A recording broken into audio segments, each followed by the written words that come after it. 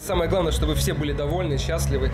Э, Вот, но то, что мы будем работать на все сто. Если от нас будет отдача, то точнее вот эта вот э, энергетика, не знаю, драйв, э, искренность, передача смысловой нагрузки зрителям. Вот, если от нас что-то будет, хотя бы маленькая искорка, значит люди, они среагируют.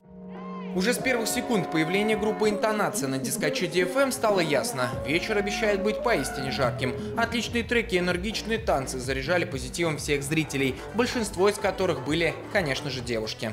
Хорошая группа. Отлично. Нравится мне очень. Все Все девушки визжат от счастья, то, что видят эту классную группу, которая, которая появляется редко на экранах, потому что она только в сериалах. Можете показать? Ну, немножко, так, пару, пару секунд. Просто колоссальная, то есть э, очень чувственные, очень э, смысленные песни играют у этой группы.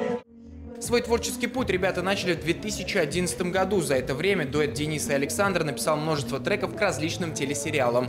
Сейчас группу «Интонация» знает практически вся молодежь, которая смотрит сериал «Молодежка». Благодаря нашему медиахолдингу у нижнекамцев появилась уникальная возможность услышать любимые треки в живом исполнении.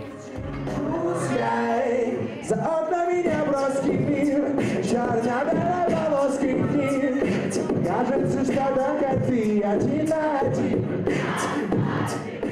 Композиции «Пускай», «Прости», «Вера внутри». Гости очередного дискача DFM услышали самые известные песни группы «Интонация». Помимо нескольких часов прослушивания хорошей музыки, зрители провели фотосессию с артистами.